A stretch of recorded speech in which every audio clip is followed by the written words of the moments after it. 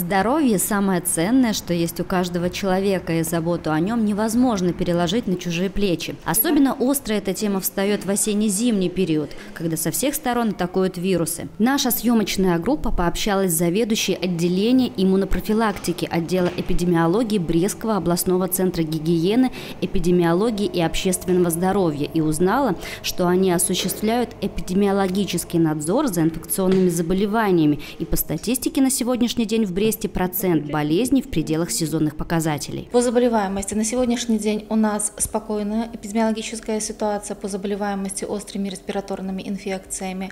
Э, уровни заболеваемости на, в пределах сезонных показателей. То есть у нас закончился, закончилась пандемия, но э, возбудитель, который циркулировал у нас в предыдущие годы, это коронавирус, э, его циркуляция продолжается, но он уже стал у нас сезонным возбудителем.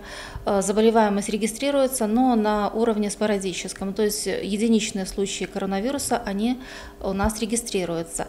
В основном сейчас у нас циркулируют негриппозные респираторные вирусы, это аденовирус, респираторно-синцитиальный парагрипп, энтеровирусы и целый ряд э, других возбудителей, которые вызывают э, острые респираторные инфекции. По данным вирусологического мониторинга, вирусы гриппа у нас пока не выделялись в текущем эпидсезоне, поэтому сейчас очень удобно сделать прививку и защитить себя. Как известно, самое большое беспокойство у населения вызывает ковид-инфекция, которая в 2020-м не щадила никого. К счастью, в этом году интенсивность вируса спала и стала на уровне сезонной болезни. Сейчас циркулирует коронавирус как сезонный вирус, и он не вызывает такой массовой заболеваемости, как была в предыдущие годы. А, ну, единичные спорадические случаи регистрируются, остались. А вирус гриппа пока не выделяется случаи случаи гриппа у нас не зарегистрированы, и по результатам э, вирусологического мониторинга у нас э, не выделяются еще, нет находок вируса гриппа. Поэтому сейчас очень удобно, кто еще не успел сделать прививку, э, привиться против гриппа, потому что для выработки иммунитета нужно не менее трех недель, чтобы иммунитет стал, достиг защитных титров и смог, вакцина смогла защитить от инфекции. Особенности вируса гриппа в том, что каждый год он мутирует и появляются новые штаммы. В связи с этим невозможно одноразово привиться и тем более забыть об этой инфекции. Против э, гриппа мы должны прививаться каждый год, потому что э, каждый год штаммовый состав э, вакцины он обновляется. То есть э, каждый год в составе гриппозной вакцины э, есть э, штаммы возбудителя, которые защищают, будут актуально циркулировать именно в этом эпидсезоне. То есть прививку нужно делать каждый год. Откуда мы знаем, какие будут возбудители? По всему миру есть целый ряд лабораторий, которые отслеживают циркуляцию вируса. Э, вся информация стекается в одну лабораторию Всемирной организации здравоохранения, которая анализирует эту информацию и представляет уже где-то вот э, весной, она дает производителям э, информацию о том, какой штаммовый состав должен входить в вакцину на будущий эпидсезон. Сегодня кампания вакцинации против гриппа продолжается. Прививка рекомендуется каждому, кто хочет защитить себя от заболевания. Но особо выделяются две большие группы риска, которым в первую очередь положена вакцинация. Первая группа – это группа высокого риска развития осложнений после заболевания гриппом. Это так называемая группа медицинского риска.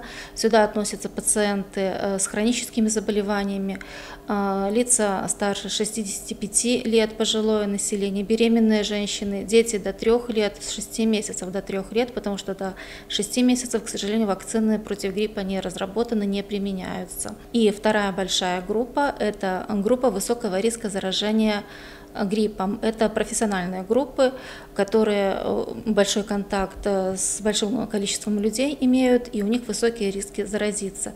В первую очередь это, конечно, медицинские работники, которые работают с больными, э, заведомо больными пациентами. И особо хочу я отметить группу, это учреждения образования, учащиеся и работники учреждения образования. Это самая проблемная группа по заболеваемости. Дети, к слову сказать, у нас составляют до 70% в структуре заболеваемости острыми респираторными инфекциями, поэтому вот этим категориям в первую очередь положено прививаться, и мы призываем всех родителей и педагогов пройти вакцинацию, чтобы защитить себя и окружающих от заболевания гриппом. С какими жалобами сейчас приходят пациенты на прием в Брестскую городскую поликлинику номер 6 и увеличился ли поток людей в ноябре, рассказала врач-инфекционист Ольга Капуза. Поток людей в ноябре месяце значительно увеличился по сравнению с сентябрем-октябрем. А, связано это, скорее всего, с тем, что сейчас погода, а, массово люди болеют, заражают друг друга, ходят заболевшими на работы. Основные жалобы, жалобы, с которыми приходят пациенты, это повышение температуры до 38,5-39,5. Также свойственна очень сильная боль в горле и э, озноб, насморк, а также кашель. Это связано с острыми респираторными вирусными инфекциями. Я им рассказываю о том, что есть вообще у нас вакцинация, что у нас есть бесплатные вакцины.